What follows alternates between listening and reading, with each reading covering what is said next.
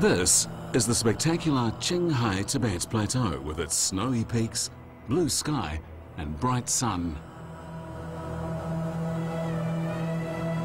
The Potala Palace on the roof of the world is also a spectacular sight.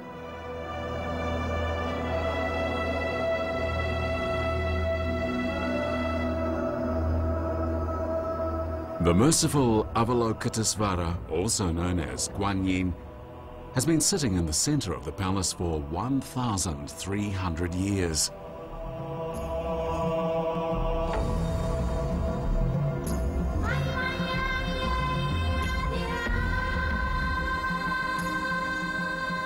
Potala Palace is like a pearl on the snowy plateau. It is an architectural wonder with a fascinating history and in Tibetan Buddhism, it is considered sacred.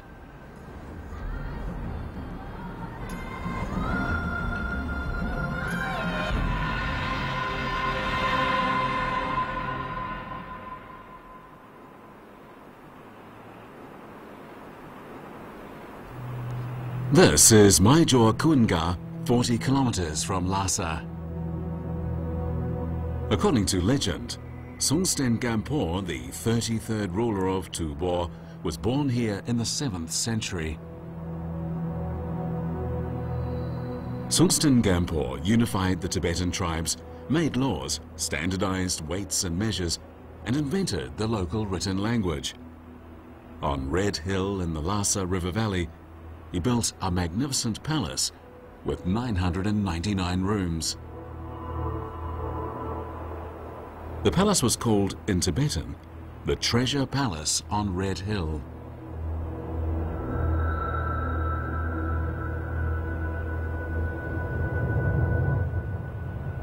These frescoes can give us an idea of how it looked at the time.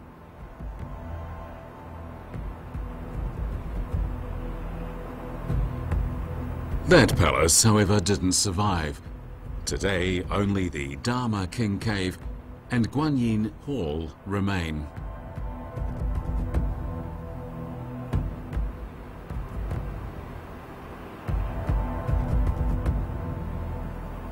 While the palace was being built, Songtsen Gampo lived in the Dharma King cave. It is one of the oldest buildings inside the Potala Palace complex.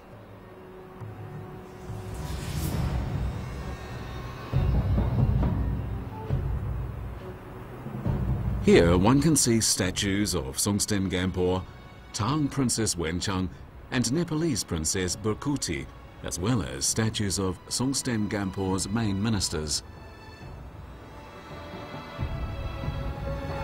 Each sculpture was created in the Tibetan style.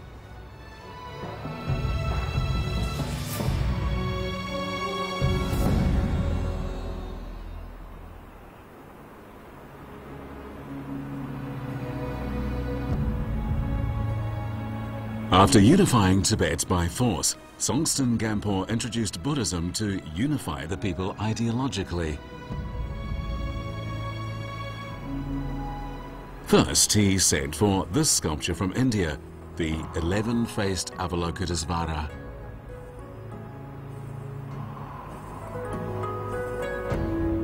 The statue was precious for more than just its artistic value. According to Tibetan history books, this sculpture was not carved, but formed naturally inside a sandalwood tree. Over the years, it's been repeatedly gilded.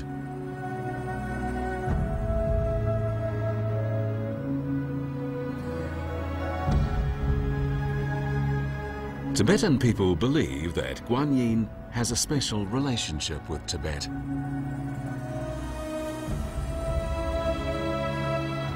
This mural inside the Potala Palace depicts Guan Yin's monkey, who had six red-faced meat-eating children with a female demon in Tibet.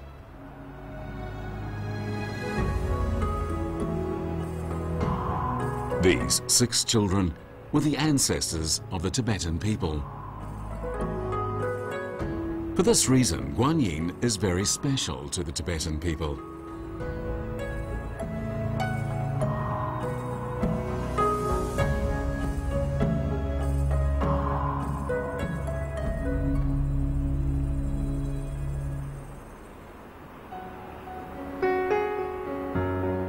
Tibetans also believe that Songtsen Gampo was an incarnation of Guanyin.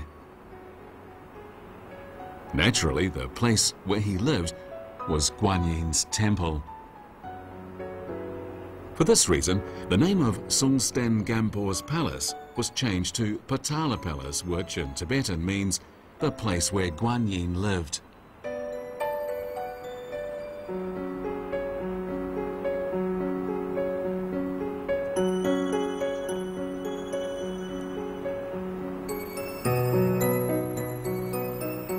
After the name of the palace was changed, Songtsen Gampo married Princess Bhrikuti from Nepal. As part of her dowry, this life-size sculpture of the eight-year-old Sakyamuni was sent to Tibet.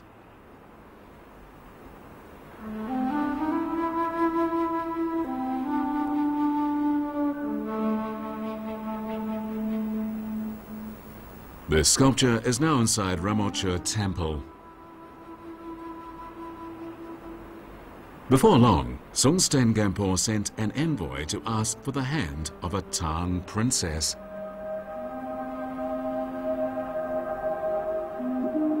This famous painting of Emperor Taizong receiving the envoy was painted by Tang court artist Yan Li Ben.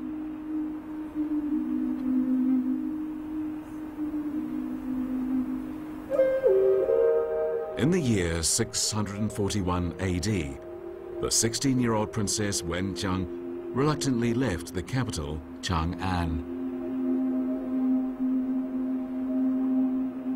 The princess was accompanied by 300 workers with various skills and two warriors. The warriors' only task was carrying the life-sized statue of 12-year-old Sakyamuni in the carriage.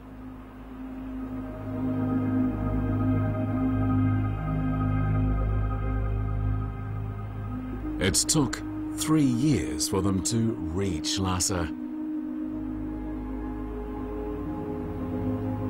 The statue brought by Princess Wencheng is now in Jokhang Temple near Lhasa.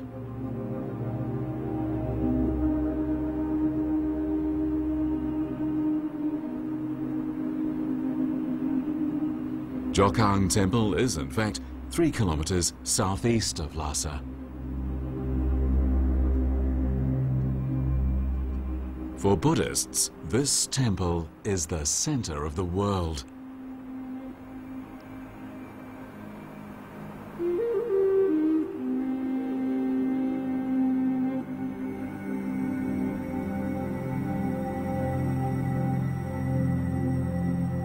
Every day, Literally thousands of Buddhist monks and believers come here.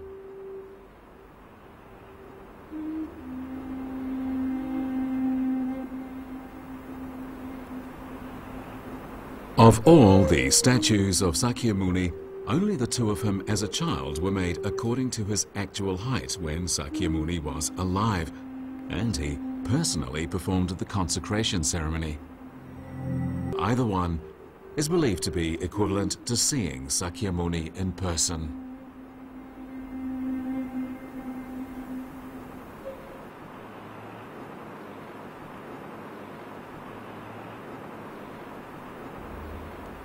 Followers of Buddhism come a very long way to receive this statue's blessing. Some even kowtow every three steps of the long journey. Like most temples built on a plain, Jokhang Temple is surrounded by other buildings for various functions. Their arrangement obviously does not follow Han custom.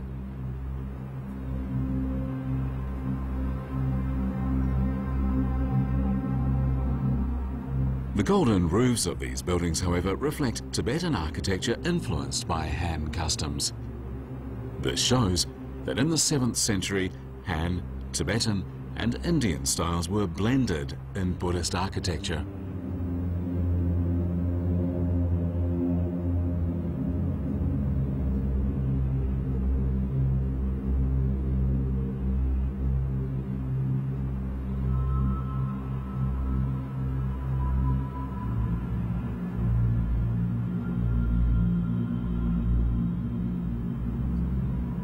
Jokhang Temple contains the statue of the 12-year-old Sakyamuni that Princess Wencheng brought to Tibet, even though the temple was originally built with a statue of the 8-year-old Sakyamuni.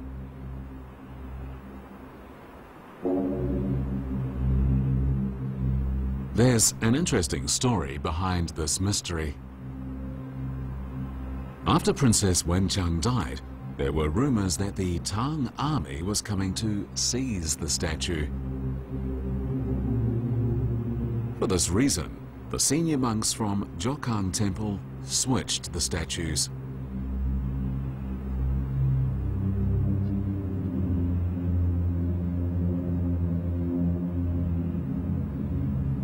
After the statue of the 12-year-old Sakyamuni was moved into Jokhang Temple, the door was sealed up with mud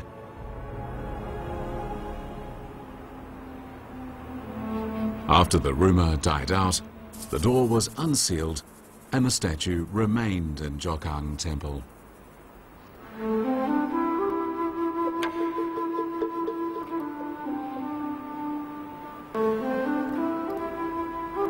Tri Relpachen, a 9th century Tubo leader, went to great lengths in his dedication to Buddhism.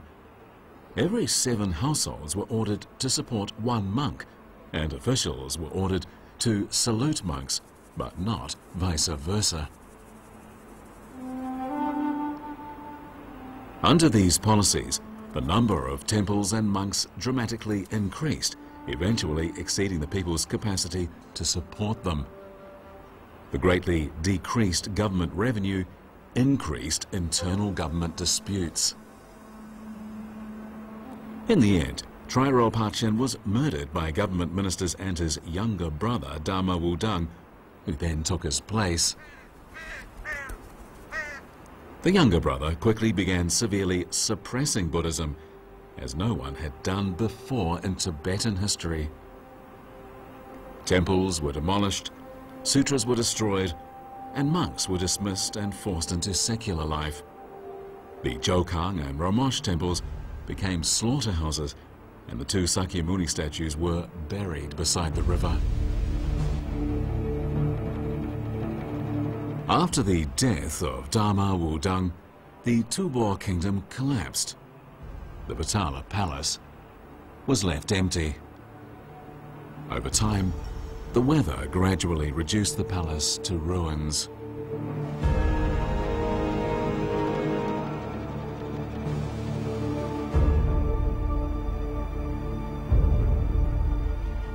In the early 9th century, Tibet entered an era of fragmentation.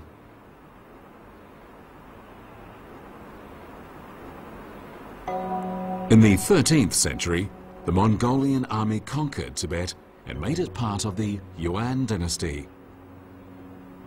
Ever since, Tibet has been an inseparable part of Chinese territory. As a Grand Counselor of the Yuan Emperor Kublai Khan, a Tibetan by the name of Phagpa played a crucial role in improving relations between the Mongols and Tibetans. The seal Kublai Khan gave to Phagpa is now in the Museum of the Tibetan Autonomous Region. The written language Phagpa created became one of the official languages of the Yuan dynasty.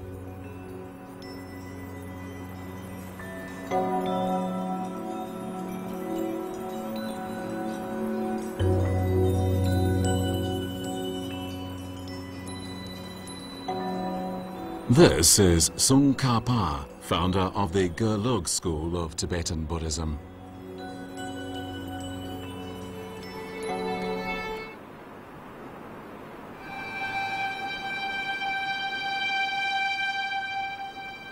Tsongkhapa came to Lhasa in the early 15th century to rebuild Jokhang Temple. On Tibetan New Year's Day of the year 1409, Tsongkhapa convened the first Buddhist ceremony inside the newly restored Jokhang Temple.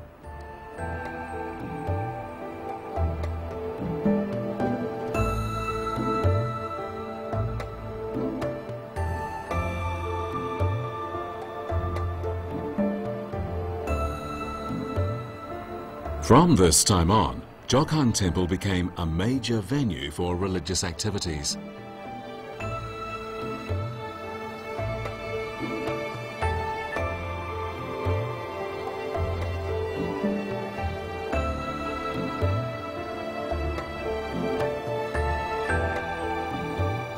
Tsongkhapa thus restored the status of Jokhang Temple in Buddhism and attracted many disciples.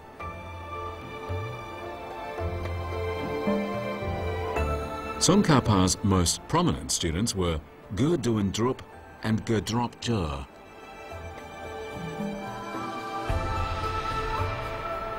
Drup was the first Dalai Lama.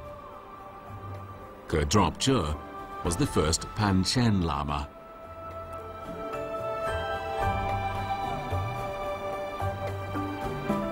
A plaque from Qing Emperor Tongzhi still hangs in the Red Palace of Potala Palace.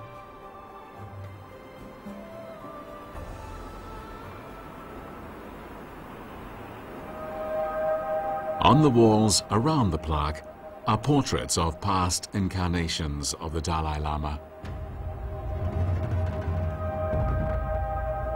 One of the portraits is of Sonam Gyatso, the first to be granted the title of Dalai Lama by Mongolian ruler Altan Khan.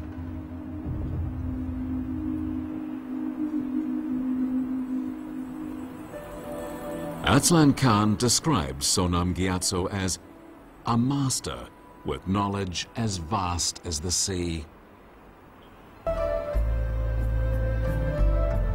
The newly rebuilt Potala Palace was 116 meters tall with a floor space of almost 140,000 square meters.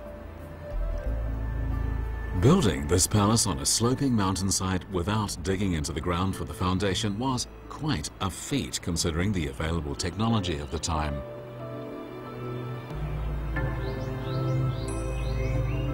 Workers built walls of differing heights of rammed earth and rocks to create a level surface they then covered them with logs and broken poplar tree branches to form the foundation.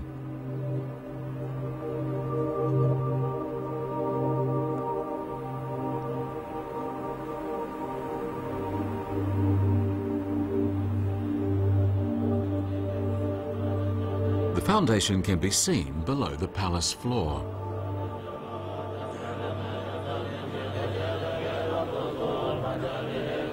This type of foundation allows for ventilation. Fresh air and sunshine come in through these skylights for good air circulation.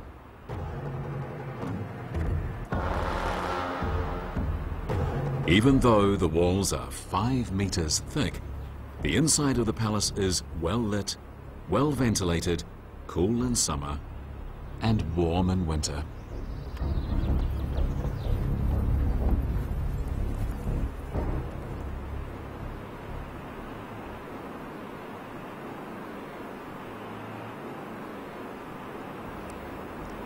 There are three sections in the Potala Palace symbolizing the realm of desire, the realm of the tangible, and the realm of the intangible.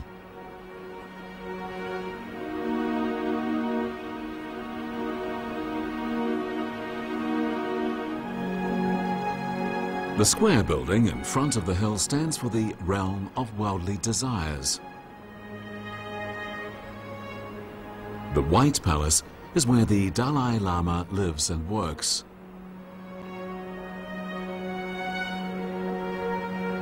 The Red Palace contains the soul pagodas of the past 10 Dalai Lamas.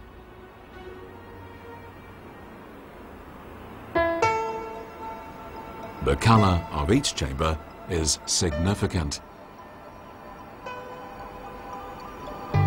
White represents mercy Red represents wisdom and strength. And gold represents supreme power.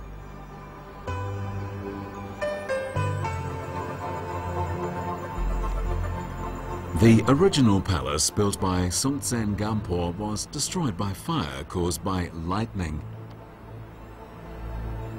To prevent this problem in the new palace, gilded brass lightning rods were installed on the gilded roof and the walls were decorated with bronze depictions of the eight treasures.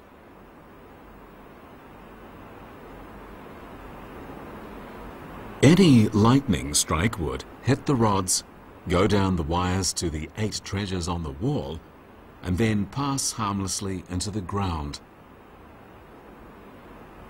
These lightning rods have protected the palace now for over 300 years.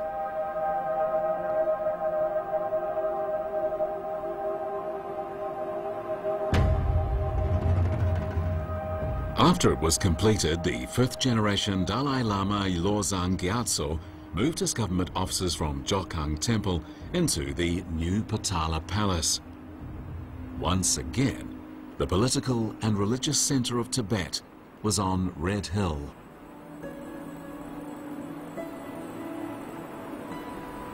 The fifth Dalai Lama knew that he needed the support of the central government to maintain his rule.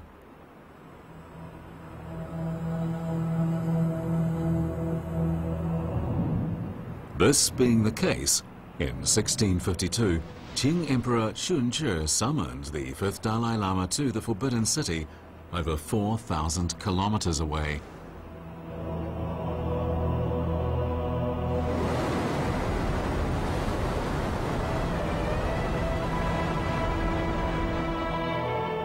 Emperor Shunzhi gave the Dalai Lama a very courteous reception. He even built a special temple for him just for his stay in the capital. That temple is Beijing's Yellow Temple. Today, the Yellow Temple is the highest college for Tibetan Buddhist studies.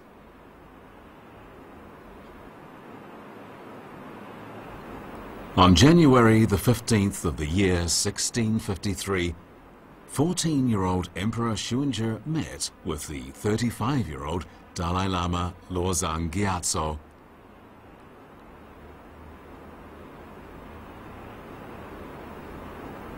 The long trip Losang Gyatso made to Beijing is depicted on the walls of the Red Palace.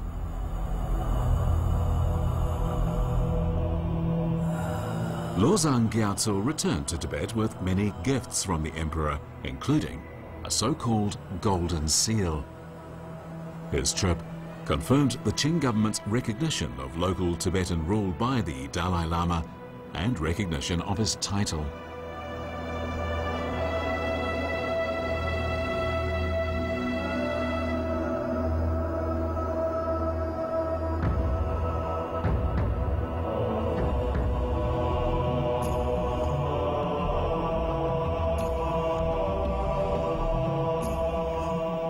In the Tibetan language, Norbu Lingka, built especially for the Dalai Lama, means treasured garden.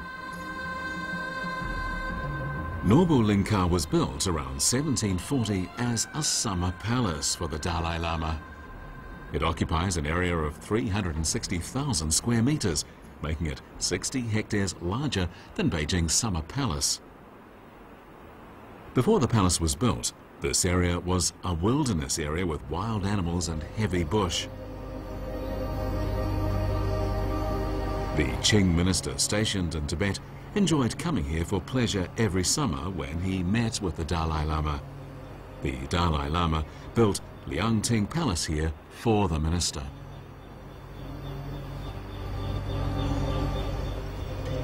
In the year 1751, the seventh Dalai Lama had a palace built on the east side of the palace and named it after himself.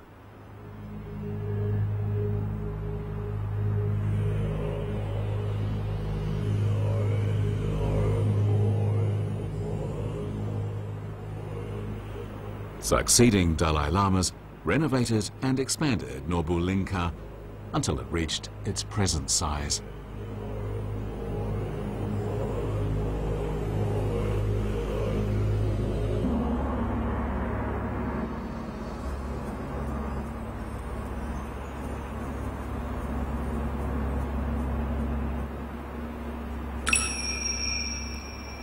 These sutra banners fluttering in the wind indicate the arrival of another Tibetan New Year. Potala Palace and Jokhang Temple are always crowded.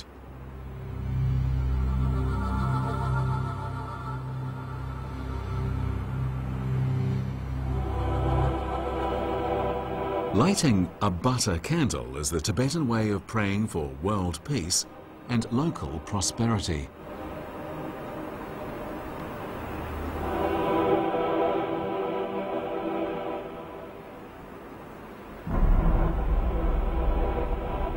From here, the infinitely merciful Guan Yin blesses the world.